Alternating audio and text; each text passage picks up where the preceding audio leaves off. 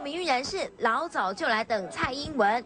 纽约法拉盛好久没有这么大场面，连纽约警方也派出制服远警站岗。动算声十分钟停不了，侨胞抢着握手，看到小英场面失控。蔡英文到纽约募款餐会，八百个位置全部都卖光光，而且餐券最高一张是两千五百块美金。小英旋风真的吹到纽约来。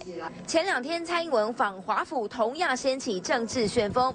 华盛顿报纸跟着报道，美国总统奥巴马拒绝出售 F 十六战机给台湾，外界质疑，难道蔡英文的拜会起不了功效？尽其可能的。满足我们防御的需求，那么这是我们基本的立场，那也是我们在这一次在华府啊，跟不同的人、跟不同的单位、跟不同层级的美方的官员啊所表达的立场。华盛顿金融时报也报道，美方认为蔡英文赢不了二零一二。国务院不知道这个所谓金融时报里面所提到的这个官员啊。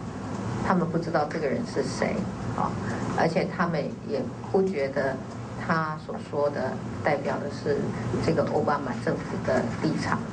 传言一一回应，尽管呈现不同声音，但蔡英文动向已经连国际媒体都开始锁定。三立新闻杨秀金、王彦君，美国纽约采访报道。